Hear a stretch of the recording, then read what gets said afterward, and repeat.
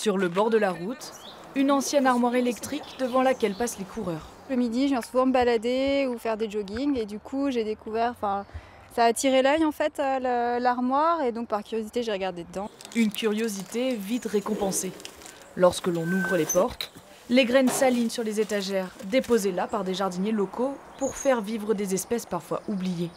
Potimarron, blettes, chacun peut se servir librement. Normalement, c'est un petit peu euh, la culture des jardiniers de partager leurs graines et puis en récupérer d'autres et pouvoir euh, planter euh, dans les jardins partagés, dans les jardins personnels. En une semaine, la grainothèque a déjà séduit les jardiniers voisins, comme Michel, qui réfléchit aux graines qu'elle pourrait apporter.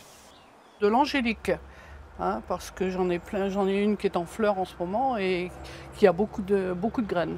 Donc euh, plutôt que de se reproduire dans mon jardin, on pourrait les amener pour d'autres euh, personnes. Dans son jardin, légumes et fleurs se côtoient. Une longue liste de plantes qu'elle enrichit encore. Il y a de la courge spaghetti, de la- du potimarron, du potiron.